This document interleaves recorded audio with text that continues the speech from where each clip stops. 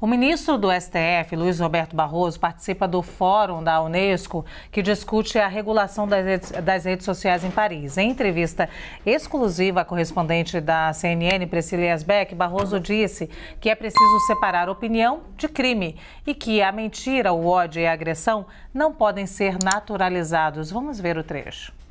Evidentemente, se alguém disser eu acho que o Supremo Tribunal Federal é muito ruim e tem a sua pior composição da história, tem todo o direito.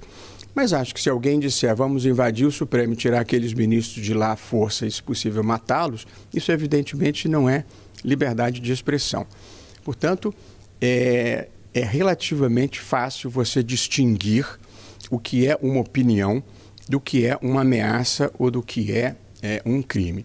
Um pouco o que aconteceu no mundo foi o pensamento conservador, que é uma das expressões legítimas numa democracia, em alguns espaços ele foi capturado por um discurso extremista que incentiva a mentira, que incentiva o ódio e que incentiva a violência.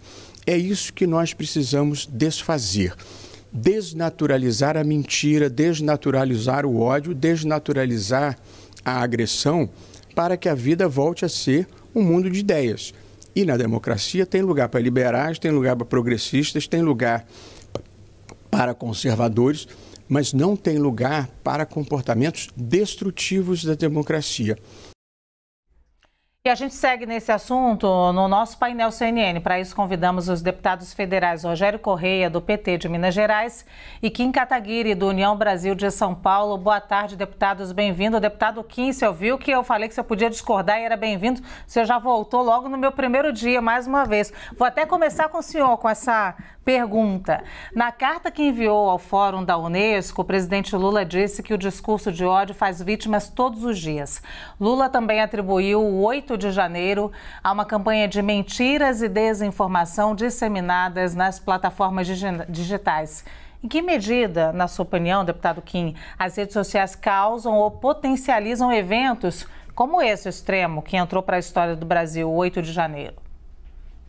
Muito bem, sempre um prazer estar aqui com você, um prazer cumprimentar também o deputado eh, Rogério Correia. Dizer, primeiro, né, que notícia falsa sempre existiu, né? Isso sempre foi difundido tanto entre a sociedade como uh, mesmo em veículos de imprensa. Agora, Uh, o Lula falar em mentira é uma hipocrisia gigantesca, né? Porque uh, ele mesmo já admitiu que mentia ao redor do mundo, já chegou a dizer em Paris que 25 milhões de crianças uh, estavam na rua no Brasil, né? Já disse que na Venezuela tem excesso de democracia, já tentou expulsar um jornalista, né? Porque um jornalista americano, né? Salvo engano, era é, Rotter, né? É o sobrenome dele, e que porque ele tinha dito que o Lula tinha o hábito de bebericar, né? Então, as redes sociais são o menor dos problemas. As redes sociais, pelo contrário, né, foram as que mais contribuíram, tiraram milhões de publicações que disseminaram notícias falsas, tanto sobre o processo eleitoral como sobre a pandemia. Foi muito mais ágil do que o poder público, que precisa passar por um processo extremamente burocrático, né? Vai para o Ministério Público, depois tem uma decisão judicial, para a decisão judicial ter um prazo e chegar até a, a, retirada daquela informação. Então, as redes foram muito mais eficientes em combater notícias falsas do que o governo, como o Lula, que agora regulamenta a rede social, que para mim parece muito mais censura. Então, o senhor acha que a, a rede social não potencializou o evento como o de 8 de janeiro? Não, acho que quem potencializou foi Jair Bolsonaro, né, que tem o microfone de presidente da República e que teria esse alcance com ou sem redes sociais por ser o presidente da República e por ter um discurso golpista.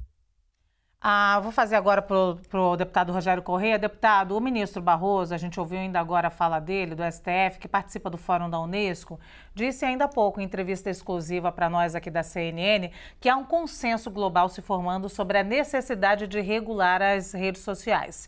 E a Europa já adotou a lei de serviços digitais com regras mais rígidas para as redes com mais de 45 milhões de usuários. O senhor acredita que as redes, por si só, elas podem, são capazes de coibir a desinformação, como disse o deputado Kim. Eu espero que o senhor tenha chegado a isso, deputado. É, ou e o discurso de ódio, ou o senhor acha que precisa regular? É necessário regular. Como você disse, eu concordo também com o ministro Barroso. Em primeiro lugar, deixa eu cumprimentar também o deputado Kim e agradecer o convite, Luciano. Mas é óbvio que precisa de alguma regulação. Tudo precisa ser regulado, quanto mais uma mídia tão importante quanto são as mídias sociais, que são milhões e milhões de pessoas. E o que a gente vê é um consenso internacional. O Brasil foi convidado agora e está participando deste fórum da Unesco, que tem mais de 3 mil pessoas participando do mundo inteiro. Tanto plataformas foram convidadas, quanto governo, sociedade civil, enfim, uma vasta representação, porque é um problema que se coloca nacionalmente e internacionalmente. Por isso, o Brasil está participando desse debate. E veja bem, você citou a regulação que já foi feita pela União Europeia. Isso foi feito é, em 2022 para, para, a partir de 2024, ter a sua validade. O que eles colocam da União Europeia é exatamente isso: novas regras que vão entrar em vigor para regular conteúdos publicitários que são dirigidos a crianças, que são dirigidos em pessoais sensíveis, como religião, sexo, raça, opiniões políticas, exatamente porque há um consenso mundial que é necessário que essa regulação seja feita respeitando os direitos humanos e, claro, as liberdades individuais e também as liberdades democráticas e de expressão. Uma coisa, é, como explicou o ministro Barroso, não impede a outra. Pelo, pelo contrário, elas são é, elas se complementam. E por isso eu acho que esse debate tem sido feito em nível internacional e já existe uma legislação na União Europeia. Aqui no Brasil, nós também fazemos esse debate na Câmara de Deputados e, portanto, isso terá que ser aprovado em lei. Já existe um projeto aprovado no Senado que foi do senador Alessandro, do PSDB, e está agora na Câmara. Nós queremos, a partir dele, fazer essa discussão e apresentar ao Brasil uma proposta debatida democraticamente. É claro, né, deputado, que a gente esbarra em alguns pontos que são importantes, né? Que é como é, definir o que, que é uma desinformação, o que que para que caminha esse, né, deputado Kim também. Vou inclusive trazer mais uma informação do ministro Luiz Roberto Barroso, que ele disse o seguinte também: a regulação vai além do conteúdo. Segundo ele, tem o ponto de vista econômico, com uma tributação justa. É um outro aspecto que a gente muitas vezes não leva em consideração, além da proteção de direitos autorais e a privacidade. Eu pergunto, deputado deputado Kim, o usuário está desprotegido em todos os aspectos e não sabe disso em relação às redes? Claro que não. Veja só do que, que a gente está falando. Cobrar imposto sobre rede social. Rede social que presta um serviço gratuito hoje para o usuário. O usuário paga assistindo a publicidade que é veiculada para ele dentro da rede social. O governo quer fazer o quê? Tributar, mais imposto, mais burocracia. Para além disso, o texto que a gente analisa na Câmara dos Deputados obriga as redes sociais a mostrar qual que é o algoritmo que eles utilizam para distribuir publicidade. Ué, a mesma regra não se aplica à imprensa. Por que aplicar as redes sociais e não aplicar à imprensa? Por que inviabilizar o modelo de negócios de redes sociais e não inviabilizar a imprensa? Isso, para mim, parece reserva de mercado. Quanto mais você regulamenta, mais você oligopoliza o mercado. E digo mais, mais. Né? O Lula disse na sua carta à Unesco né, de que é, a ideia é quebrar oligopólios e etc e tal. Bom, as redes sociais, a vida de uma rede social, em regra, é de cinco anos. Né? Nós temos muito mais competição entre redes sociais e muito mais opções entre redes sociais do que, por exemplo, bancos no Brasil, que mantiveram seu oligopólio durante os governos petistas e não se fala sobre a quebra desse oligopólio, né? Por parte disso, que é, tem um impacto muito maior na vida das pessoas do que as redes sociais. Do que as redes sociais. E digo mais, 99% dos empresários brasileiros ou são individuais ou são microempreendedores. E mais de 90% usa as redes sociais para empreender, para ter clientes. Pergunte a esses empreendedores quem os ajuda mais. Utilizar as redes sociais para divulgar o seu produto ou o governo, via seus programas de assistência a empresário? O deputado Kim, mas o senhor acredita, o senhor que sempre está disposto a debater aqui com a gente, que é necessário esse debate na Câmara dos Deputados, de qualquer forma? Claro, o debate deve existir. Agora veja, o texto na Câmara dos Deputados fala duas vezes em fake news e fala mais de 19 vezes em publicidade. Ou seja, a gente não está tratando de notícia falsa, a gente não trata tratando de combater fake news, a gente está tratando de inviabilizar rede social e de tributar a rede social. Veja só, o texto prevê que toda vez que você é, distribui um link de uma notícia jornalística, você precisa pagar, você precisa remunerar né, aquela notícia jornalística. Veja só, as, os próprios veículos de imprensa escolhem estar nas redes sociais e divulgar o seu conteúdo nas redes sociais. Por que, que o usuário deveria pagar pela distribuição de links que, as própria, que a própria imprensa utiliza nas redes sociais para aumentar o seu alcance? Então, uh, eu concordo que a gente precisa de meios efetivos para combater notícia falsa. Agora, não via Poder Executivo, como está sendo feito agora no Ministério da Verdade e na Advocacia Geral da União, e sim, né, pelo Ministério Público, passando pelo devido processo legal e passando pelo Poder Judiciário, que é muito mais isento, independente e autônomo do que o Poder Executivo, que é exercido por políticos e por, pela sua própria natureza enviesado.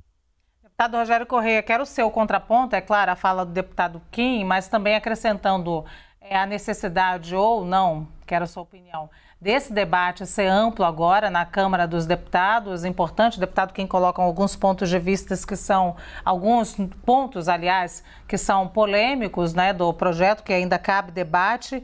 E é, também como definir o que é uma desinformação. Como qualificar o que é uma desinformação e o que é uma opinião? Primeiro lugar, acho que o fórum mais adequado do debate é sim no Congresso Nacional é a partir de lá que nós vamos ouvir toda a sociedade, incluindo as plataformas, mas vamos ouvir também a sociedade civil, vamos ouvir aqueles que são usuários também da internet, vamos ouvir, evidentemente, o conjunto da sociedade e o governo. O governo vai dar a sua opinião, mas já deixou claro que quer que a aprovação se dê no Congresso Nacional. É o caráter mais democrático, é onde o debate se fará da melhor forma possível. O que a União Europeia disse foi mais ou menos o seguinte: o que é ilegal na realidade também deve ser ilegal na internet. A internet não pode ser um mundo onde tudo pode acontecer como se não tivesse influência na sociedade. Por exemplo, prostituição infantil. Nós podemos permitir que isso seja colocado nas redes de internet? Todos temos o consenso que não. A prática do ódio, para golpes de Estado, como fizeram no 8 de janeiro, pode ser aproveitado pelas plataformas para se derrubar um governo democrático? É óbvio que não. Por isso, essa regulação era uma regulação necessária. Agora, as liberdades democráticas, essas devem ser respeitadas. Então, isso também é um contingente essencial no debate que faremos na Câmara dos Deputados. Repito que o projeto foi aprovado no Senado, está agora na Câmara e nós daremos contribuições o governo presidente Lula, diferente do governo Bolsonaro, onde achava que tudo era possível, menos um debate democrático, aliás, um governo que se apartou do mundo, agora nós estamos voltando ao mundo, né? O governo Lula mandou e enviou uma carta de forma respeitosa, colocando opiniões sobre esta questão da regulação das redes sociais para um fórum de debate da Unesco. Se fosse o governo Bolsonaro, nem lá iria, porque para eles o mundo pouco vale assim como nada valia da pandemia, e ele deixou que mentiras fossem contadas e até aplaudiu aqueles que orientavam a cloroquina ao invés da vacina. Então, esse tipo de mentira levou à perda de vidas. Depois tramaram o golpe. E é claro que a internet não pode ser instrumento de coisas que são feitas erradas na sociedade. Então, aquilo que é errado do ponto de vista legal, na sociedade também deve ser na internet. Esse é o debate que nós queremos fazer e vamos fazer de forma é, democrática. O governo Lula tem representação internacional para isso e, por isso, está buscando também o debate que tem sido feito em outros países e tem aqui a respeitabilidade democrática de aceitar e propor e contribuir com o debate na Câmara de Deputados. Eu tenho só um minutinho para os dois. Eu queria, em 30 segundos, ler uma frase também do ministro Barroso. Ele diz o seguinte: o pensamento conservador foi capturado por um discurso extremo que leva à mentira e ao ódio. Os extremistas, o ministro estava falando sobre eles. Como combater esse extremismo que acaba cometendo crime? Deputado Kim, depois o deputado é, Rogério Correia também. Em 30 segundinhos, consegue, deputado Kim?